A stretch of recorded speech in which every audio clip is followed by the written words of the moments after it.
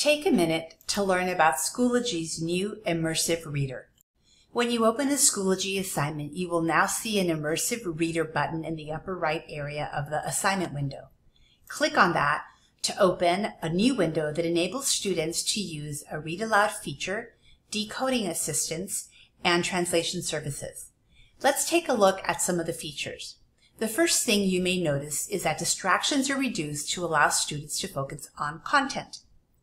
Click the play button to listen to the entire page read aloud. Today in class, we learned about the cons.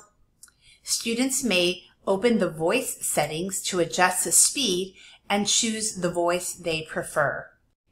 In the text preference area, students may choose text size, increase or decrease the spacing, select a font, and choose a background theme. In the grammar options area, students may split words into syllables and highlight various parts of speech. The reading preference settings allow students to adjust the line focus. This is like a virtual reading ruler that helps students reduce distractions. Students can adjust how many lines they see at a time.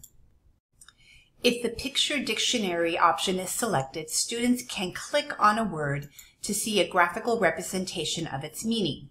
They can also listen to the pronunciation of the word.